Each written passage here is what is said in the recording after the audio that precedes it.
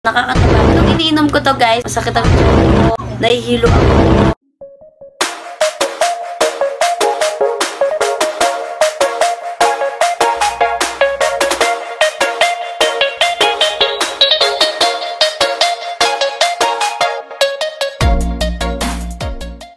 Everyone, welcome back to my YouTube channel for today's video. Hindi muna to product review. First impression siya dito sa product na ito dahil bagong labas to. Ayan, dahil bagong labas to, kailangan natin ng mga ganitong video. Happy kong product sa inyo guys. Yung Melendez Nicotion 9-in-1, made in Japan. And supplements to guys. Tinawag siya na 9-in-1. Kasi yung mga ingredients niya, collagen, peptide, L-glutathione, L-cysteine, carotenoids, vitamin B3, beta-glucan, hyaluronic acid. Ano naman ang makukuha mong benefits dito kay Nicotion, whitening, anti-aging, moisture boost. Halos ito yung mga nakita kong tanong about dito kay Nicotion. Nakakataba ba ito? Pwede ba ito sa immune system? Ito sa breastfeed mom?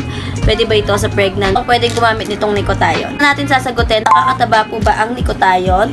Hindi po nakakataba ang Nicotion. Generally safe to intake siya. Sinabi ko nga yung benefits niya kanina ay anti-aging, whitening, and moisture boost. So, hindi talaga siya nakakataba. Tapos naman, sinong pwedeng gumamit nitong Nicotion? Pwedeng gumamit 14 years old and above.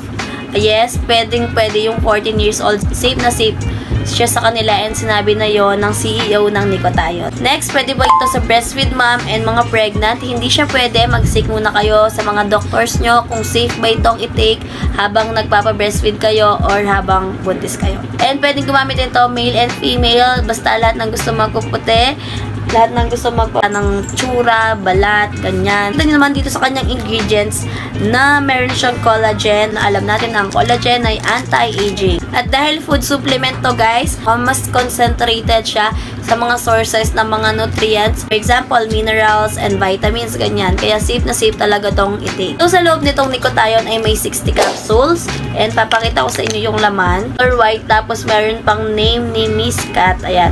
Lalay niya daw yung name niya dito sa supplement na ito. Dahil sa kanya, meron nang nakitang effect ng Nicotion. Alam nyo na. Guys, FDA approved to. Nga ba inumin itong Nicotion? 1 to 2 capsules per day. Pwede mo siyang inumin ng one capsule lang a day. Depende sa iyo yon. Ako, iniinom ko siya capsules 30 minutes before meal tapos before bedtime. Ngayon guys, pang 2 days ko pa lang ng paggamit nitong Nicotion. So, lalagyan natin ng part 2 to pag naubos ko itong isang bottle na ito para makita natin kung effective ba siya or hindi. And nung iniinom ko to guys, wala naman ako naramdaman na masakit ang tiyan ko nahihilo ako. Wala akong naramdaman na ganun. Then, wala naman nag-iba sa aking routine everyday. Kung mga mga katanungan kayo about this product, mag-comment lang kayo sa baba yan. Sasagutin natin yan. And then, kung gusto nyo maging updated sa aking journey about sa paggamit itong Nicotion, pwede nyo akong i-follow sa aking TikTok account. Everyday ako nag-upload ng video doon. So, hanggang dito na lang ang video na ito. Mag-comment kayo sa baba kung meron pa kayong katanungan. Thank you for watching. Always pray and stay positive.